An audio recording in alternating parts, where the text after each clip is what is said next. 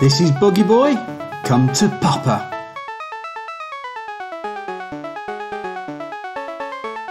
I'm actually normally used to playing the Amstrad CPC version, um, and on the rare occasions, the arcade. The arcade version was absolutely amazing. It still is.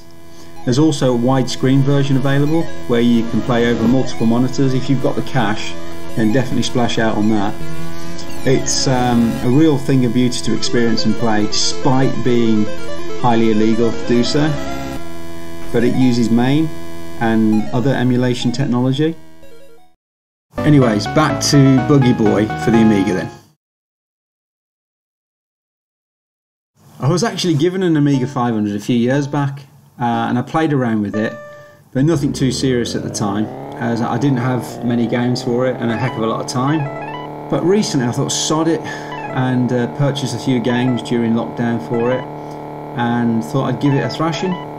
The reality is I've not been able to put the Amiga down since. There's so many good games uh, I've played already, but there's still piles. I've got still piles of games uh, that, that I'd like to get through.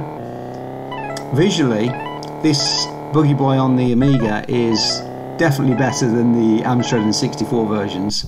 Uh, and the fact that the Amiga is a 16-bit um, computer, you know, the clues are there. Although I find this version highly playable, I still can't decide if I prefer this more than the Commodore 64 or Amstrad CPC version.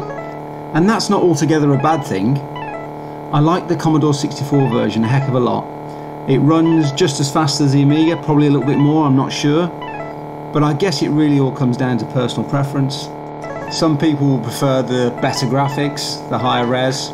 Some people might prefer the sounds uh, and music of the Commodore 64. So it really is anybody's. A point uh, I'd like to make about this in comparison to the arcade version and the 8-bits as well if you watch the or play the arcade version of Buggy Boy, what you'll notice straight away is you're up against other vehicles, other cars. Uh, it might be like Outrun in the sense that you're racing to the finish line, but in the Amiga, being a 16-bit version as well, I think you have to mark it down a little bit because it should have included the cars. Now if it does and I'm missing something, then let me know uh, in the comments. There's also five stages to this game. You've got off-road, north, east, west and south. Uh, the off-road course just loops around uh, back to the start, where the others you've got to actually uh, complete all the different stages. There's all sorts of bonuses in this game. You've got the coloured flags which give you 30 points. You get 1,000 bonus points if you collect all the flags in the, in the certain order that's highlighted at the top of the screen. The different gates give you 100, 250 or 500 points. And then there's the part where you drive through the time gate to get more, to notch more seconds on the clock. You get 2,000 points if you hit the football. You get that in the Commodore 64 and the other 8-bit versions as well. Strangely though, the, the sound when you hit the ball in the Amiga version is really paltry when compared to the 8-bits.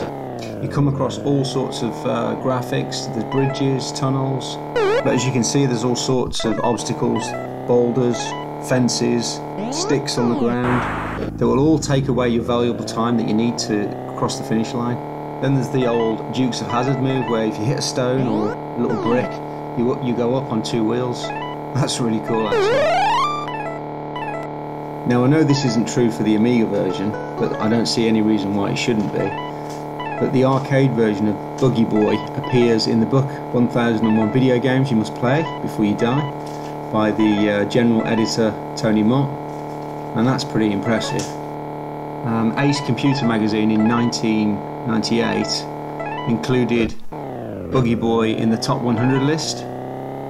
Amiga Power in 1991 they positioned it as the 78th of all time in their top 100 Amiga games. Commodore Force in 1993. According to a reader's top 100, it came 94, so that's bloody good. And Commodore Format, issue 4, listed in the A to Z of Classic Games article and said it was a great game. What I find unbelievable is the Atari ST version, apparently, allegedly, uh, had better sound than the Amiga. So I'm going to need to check that out at some point and, and see if that's the case or not. But that was reported by the Games Machine in 88. What's also interesting is Zap uh, in 98 gave the Amiga version 92% and they stated a very accurate conversion with highly addictive qualities, a must for fans of the racing genre.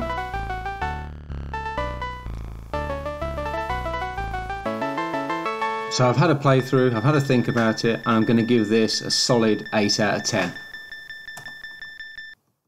So I'll leave it there, and thanks for watching again. Uh, please don't forget to subscribe if you want to see more content. I believe, but don't quote me on this, Lotus Turbo Challenge will be next. Bye!